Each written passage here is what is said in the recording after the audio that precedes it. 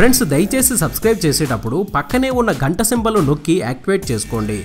అలాగే already subscribe చేసిన వాళ్ళు కూడా బెల్ బటన్ నొక్కడం మర్చిపోకండి. భారతదేశం సాంప్రదాయాలకు పెట్టింది పేరు. పురాతన కాలం నుంచి మన దేశంలో ఎన్నో ఆచార వ్యవహారాలు ఉన్నాయి. నేటికి ఆ ఆచారాలను ఎంతో మంది పాటిస్తున్నారు. ముఖ్యంగా హిందూ సాంప్రదాయంలో ఇలాంటి ఆచారాలు అనేకం. అలాగే వీటిని మూఢనమ్మకాలని కొట్టుపారేసేవారు లేకపోలేదు.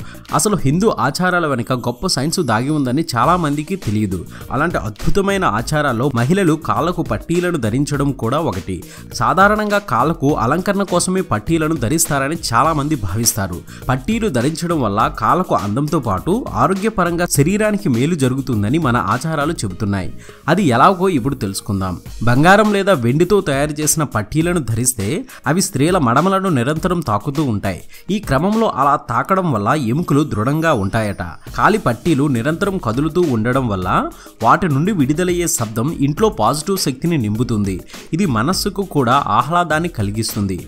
ఆయుర్వేదంలో పలు రకాల ఔషధాలను లోహాలతో తయారు చేస్తారు.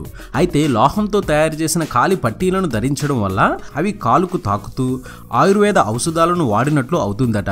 దీంతో ఆరోగ్యం ఎల్లప్పుడూ సురక్షితంగా ఉంటుంది. మహిళలు కాళ్ళకు పట్టీలను ధరిస్తే దేవతలు దేవుళ్ళకు ఆహ్వానం పలికినట్లు అవుతుందట. దీంతో వారు ఆయా మహిళల ఇండ్లలోకి వచ్చి అన్ని శుభాలనే కలిగిస్తారట. ఇది అప్డేట్ మరొక ఇంట్రెస్టింగ్ వీడియోతో మీ ముందుకు వచ్చేస్తాను. ఇలా ఎన్నో కొత్త విషయాలను మనకు తెలియజేస్తున్న మన విఆర్ మీడియా యూట్యూబ్ ఛానల్ని సబ్స్క్రైబ్ చేయండి. మమ్మల్ని ప్రోత్సహించండి. Please subscribe and thank you